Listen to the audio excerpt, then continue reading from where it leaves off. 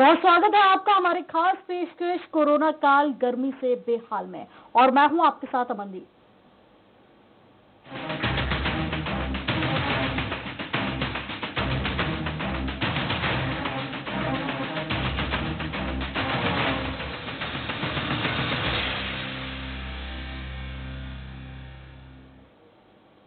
देश भर में इन दिनों प्रचंड गर्मी पड़ रही है और कई राज्यों में तो पारा सैतालीस डिग्री के पार भी पहुँच चुका है। मौसम विभाग ने उत्तर भारत के कुछ राज्यों में लू को लेकर रेड अलर्ट जारी किया है। इस गर्मी से फ़िलहाल तो नहीं, लेकिन आने वाले दिनों में राहत मिलने वाली है। उत्तर भारत के लोगों को भीषण गर्मी से 28 मई के बाद थोड़ी राहत मिल सकती है। 29 और 30 मई को इस क्षेत्र में धूल भरी आंधी के साथ ही गरज के साथ बारिश होने की संभावना है। अगर बात करें मध्य प्रदेश की तो यहाँ नौतपे के पहले दिन भीषण गर्मी देखने को मिली। भोपाल में तापमान 40 डिग्री के करीब पहुँच गया। इसके साथ ही मध्य प्रदेश के नौ जिलों में तापमान 45 से 46 डिग्री के बीच रहा। सबसे ज़्यादा तापमान खजुराहो में छियालीस दशमलव छह डिग्री सेल्सियस पर रहा। इसके बाद खरगोन, मुरैना में तापमान छियालीस डिग्री रहा। और साथ ही ग्वालियर में भी तापमान 45 डिग्री के पार ही दर्ज किया गया है।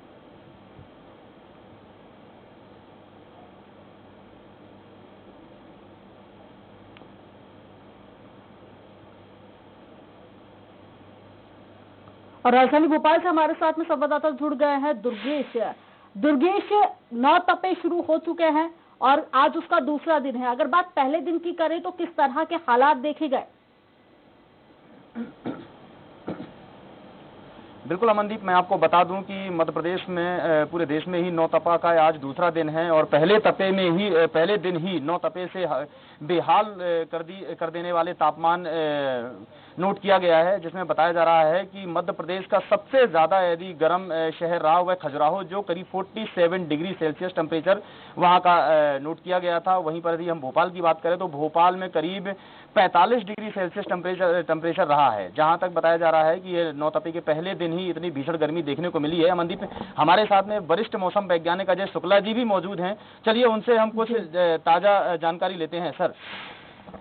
जिस तरीके से नौ तपा का आज दूसरा दिन है तो कहाँ तक किस हद तक ये पारा जा सकता है? पहले दिन ही इतनी गर्मी का सामना करना पड़ा है जनता को। तापमान जो है 47 डिग्री के आसपास खजुराहो में दर्ज किया गया है। और हमारा अनुमान है कि 47 तक जो है टेम्परेचर जो है आगामी एक दो दिनों में जाने की संभावना है। और इस दौरान जो है पूरे नॉर्थ मध्य प्रदेश जिसमें ग्वालियर चंबल रीवा सागर जो संभाग की ज़िले हैं यहाँ पर तापमान में वृद्धि हो रहेगी और 46, 47 के आसपास रहेगा। बाकी जगहों पे जो तापमान है निमाड़ वगैरह में या बाकी जो है वहाँ पर भी आज तापमान 45 डिग्री के आसपास रहने की संभावना है जिसमें जबलपुर भोपाल शामिल है। अच्छा सर जिस तरीके से इतना तापमान पहले दिन ही नौतपा का रहा है ऐसे में जो हीट वेव हैं ये कब तक रहेंगी और किस टेम्परेचर में ये रहती हैं? थोड़ा सा दर्शकों को बताएँगे। देखिए 45 डिग्री के ऊपर तापमान हो जाए या फिर सामान्य से साढ़े चार डिग्री अधिक हो तो ये हीट वेव होता है। और सीवियर हीट वेव सैंतालीस डिग्री या उससे अधिक और जो डिपार्चर है सामान्य से साढ़े छः डिग्री से ज़्यादा हो तब जो है ये सीवियर हीट वेव कहलाता है तीव्र लू चलने की बात रहती है। अब रही बात जो है ये जो है कब तक रहेगी तो ये 28 उनतीस तारीख तक रहने की संभावना है उसके बाद फिर मौसम में परिवर्तन आएगा। मध्य प्रदेश के कुछ हिस्सों में बूंदाबांदी और आ, भी हो सकती है।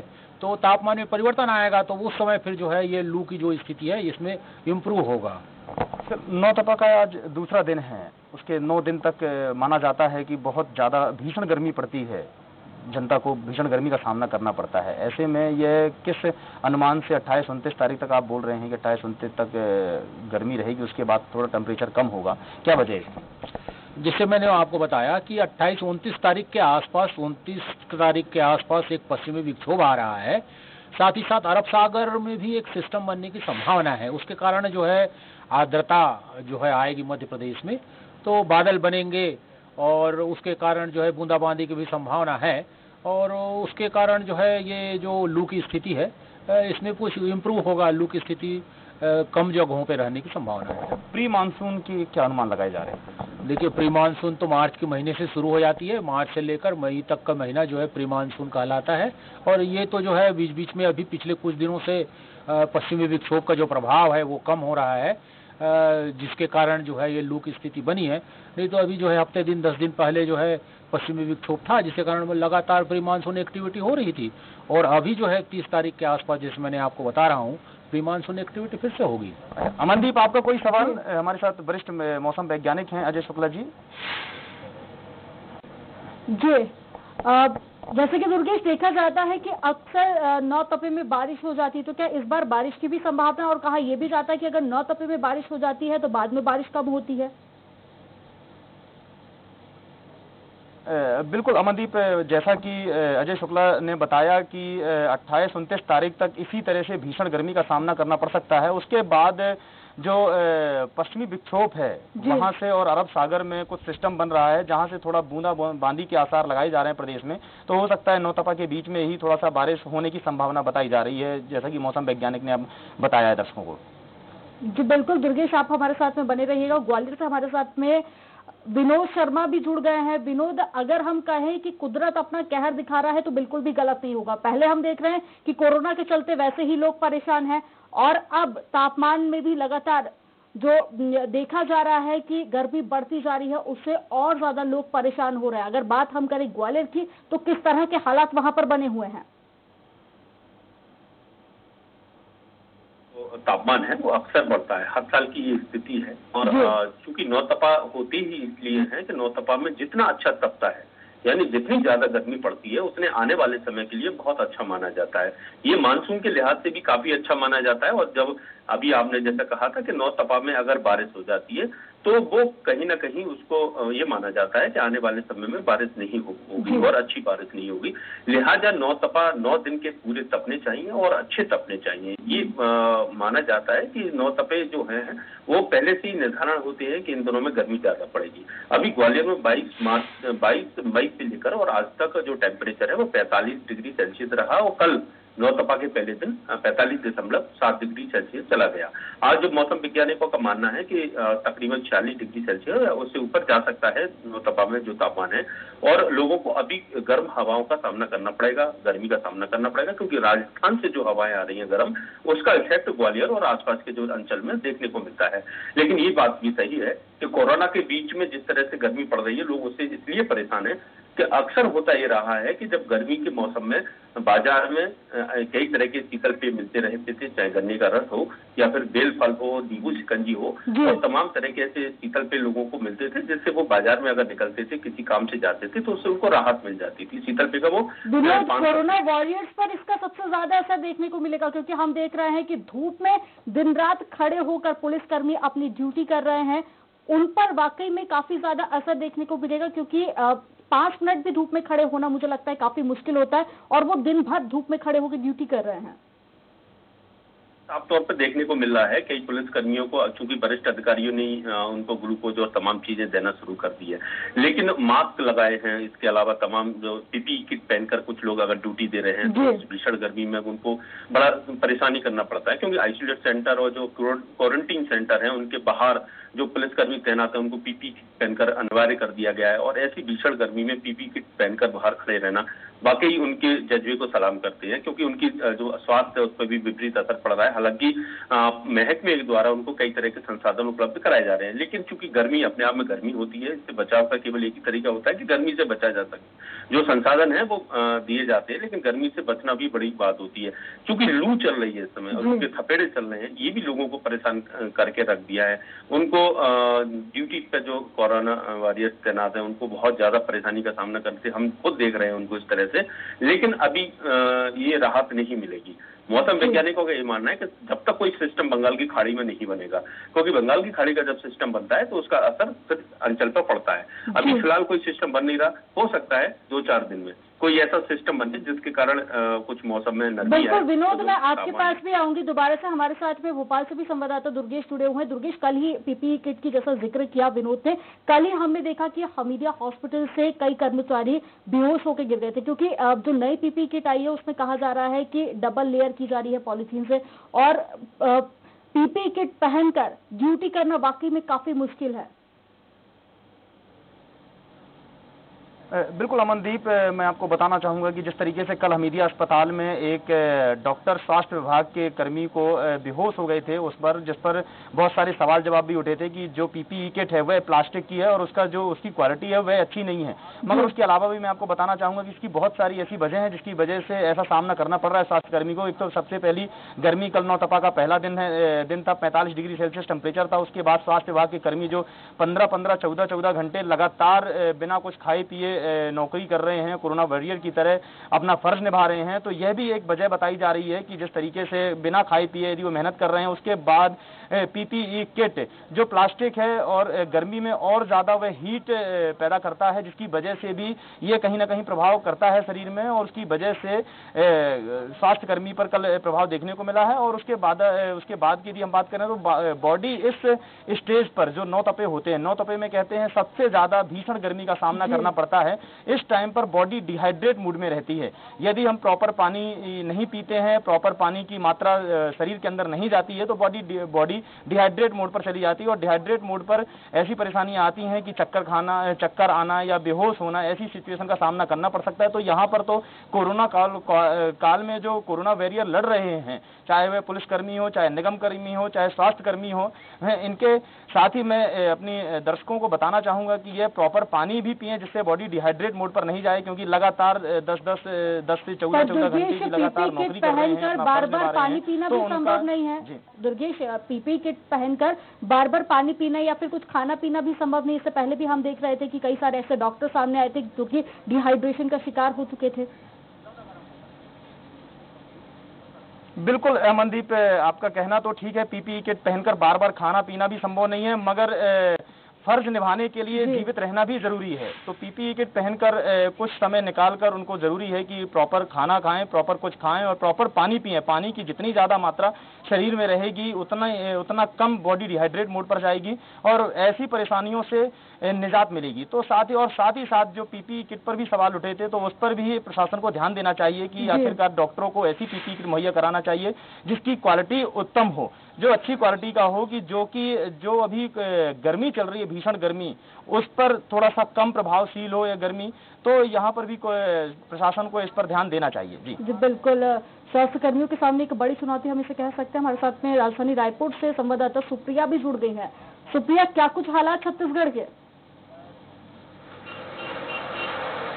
जी, मौसम विभाग ने छत्तीसगढ़ को लेकर जो है अलर्ट जारी किया है। एक तरफ़ तो छत्तीसगढ़ में कोरोना कहर बढ़ पा रहा है तो वहीं अब गर्मी ने भी विकराल रूप धारण कर लिया है। यहाँ पर अगर तापमान की बात करें तो पैंतालीस दशमलव चार डिग्री रायपुर में आज का तापमान नज़र आ रहा है और साथ ही अगर हम बाकी जिलों की बात करें तो दुर्ग में जो तापमान है वो पैंतालीस दशमलव आठ डिग्री जो है वो दर्ज किया गया है। साथ ही न्यूनतम तापमान जो है वो जगदलपुर का दर्ज किया गया है, जिसमें तीस दशमलव आठ डिग्री जो तापमान है वो बताई जा रही है, जिसे लेकर मौसम विभाग ने अलर्ट जारी किया है कि बेवजह घर से बाहर ना निकले और अगर निकलते हैं तो अपने बदन को पूरी तरह से ढक कर बाहर निक, बाहर निकले और साथ ही लगातार जो है कुछ कुछ देर में पानी का सेवन करते रहे और अगर कोई मेहनत का लोग हैं तो वो खा, खाना खा कर ही जो है काम पर निकले और साथ ही पानी जो है उसको लगातार सेवन करते रहे। इस तरह की जो एहतियात है वो मौसम विभाग ने दिया है और साथ ही रायपुर बिलासपुर और दुर्ग की बात करें तो उसे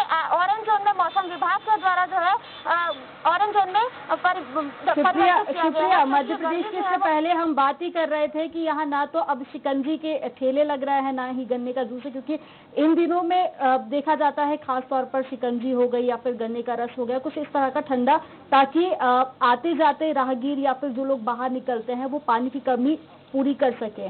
और उससे उन लोगों का रोज़गार भी काफ़ी अच्छा चलता है इन दिनों में। मध्य प्रदेश में तो खैर इसकी छूट नहीं है। छत्तीसगढ़ में किस तरह के हालात देखे जा रहे हैं इसको लेकर? छत्तीसगढ़ में तो बिल्कुल तमाम बाजारों को जो है वो खोला गया है, लेकिन इस तरह के जो शिकंजी वगैरह के जो ठेले की आप बात कर रही हैं तो वो जो छत्तीसगढ़ में वो भी नहीं है यहाँ पर, लेकिन बाज़ार जो है वो तमाम बाजारों को खोला गया है।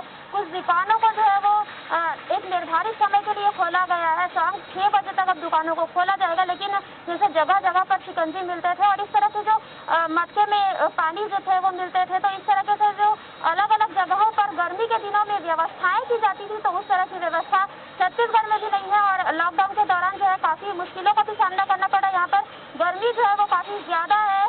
रोज, अभी एक हफ़्ते तक मौसम विभाग ने कहा है कि लू चलने की संभावनाएँ हैं और ऐसे में लोग जो है वो बेवजह घर से बाहर ना अगर कोई अति आवश्यक तो ही जिस तरह से आपके पीछे में तस्वीरों में देख पा रही हूँ कि लोग आना जाना कर रहे हैं बड़ी संख्या में। कोरोना तो कोरोना का कहर तो क्या उनको तो गर्मी भी रोक नहीं पाई। भारी धूप हो रही है बाहर फिर भी जो आवाजाही है वो बड़ी संख्या में जारी है। जी बिल्कुल छत्तीसगढ़ में कोरोना का डर भी नहीं है यहाँ के लोगों को तो वही गर्मी की वजह से भी किसी को डर नहीं है। सब यहाँ पर जो है लापरवाह है और सभी जो है लगातार बाहर निकल रहे हैं भले ही नहीं कुछ काम हो या ना हो लेकिन बेवजह घूमने की वजह से भी कुछ लोग जो है वो बाहर निकल और यही कारण है सुप्रिया कि जो आंकड़ा है वो लगातार बढ़ता जा रहा है। वापस आऊँगी मैं आपके पास में।